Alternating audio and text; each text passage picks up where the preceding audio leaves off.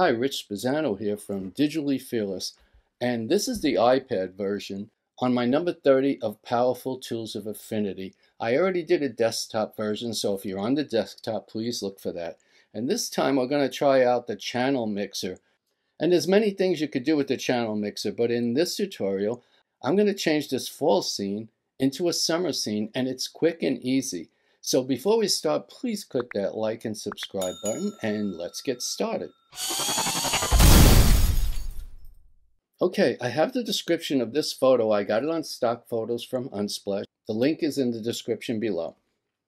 So what I'm going to do next is I'm going to go right up here. I'll use my finger. And if you don't know what that is, if you hold down on the question mark, you can see all the different studios. And that studio is the adjustment studio. So I'll go to adjustments and I'll pick channel mixer. Now that I'm in my layers, I'm selecting channel mixer and on the bottom right here, you'll see it says RGB and they have red, green, blue, and I'm going to go back to red. And red is 100% red and of course 0 and 0 for green and blue because that's the red channel. But I'm going to change that. So if I click there, instead of 100%, I'm going to go minus 100. And in green, I'm going to click there and go plus 100. And in blue, I'm going to go plus 100 also. So now this looks pretty decent, but you can do a little bit more. So now what I'll do is I'll go back to here on the channels and up on top here, I'm going to change the mode, the mode to darken, which I think gives it a little bit of a better look. And then go back to the layers so now what I'll do is I'm going to go merge visible and that's right up here where the layers are. I'll click that and say merge visible which gives me a new layer. I could turn these off in case I need to adjust them.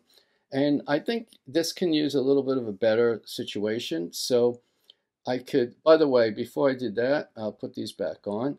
Before merge visible, I could have also cut back the opacity if you wanted to go more toward the yellows and the greens. But I was going to leave it just the way it was, so I already did the merge visible. So that's your choice right there. So I'm going to hide these two. Let's see, hide, hide, and bring that one up. And now that that's green, what I can do now is go to adjustments and then curves. Curves should be on top. So now I'll go to curves and I'm going to brighten it up a little, just like that.